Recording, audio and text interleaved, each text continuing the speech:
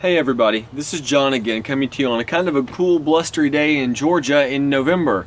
And as the winter kind of settles on, we start looking about, start thinking about preparing our house for the winter time. This is the north side of my house and I'm just going to show you something really, really simple today that can save all kinds of busted pipe problems for you in the future. We'll get to it here in just a minute. Thanks. Well, here we are. This is the, the spigot on the north side of my house. And um, you'll see that still got the water hose. We were just using it maybe a week ago, actually.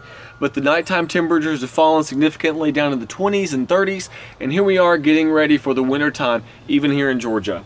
So let's get started.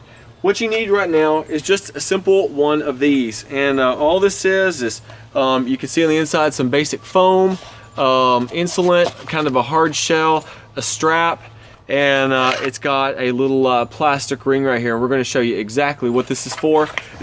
All right, here we are again. First things first, unscrew your water hose. Water is going to come out with this, probably a little bit. Next, grab this piece right here and uh, the intent of this is to fit around the spigot. All you have to do is take just a little bit of time, work it around. Be careful when you're putting it on. You might bust the pipe it should be able to hang loose from the spigot. Now, all that remains is to push that up.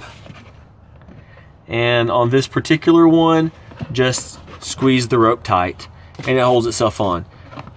It's not perfect, but it blocks some of the cold air from getting on there. All in all, um, putting this on should take about three minutes tops and uh, might save you a lot of trouble. Well, there we have it, folks. We have put a uh, spigot cover on, and it's all said and done. We're ready to go for the winter. Now, this is not foolproof because, for instance, um, a year ago, February now, we had one of these on a spigot on the south side of the house, and there was a minor piece of pipe insulation that was exposed, and it still froze and ruptured. It's not a guarantee, but it's better than just leaving it exposed all winter long.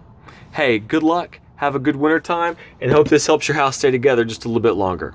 If you like what you saw on this video, go ahead and click subscribe or leave some comments or questions down below. I'll make sure to answer them. Thanks. Bye.